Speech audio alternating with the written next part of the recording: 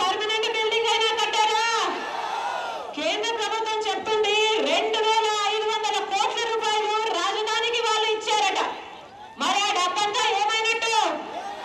చంద్రబాబు గారు స్వాహ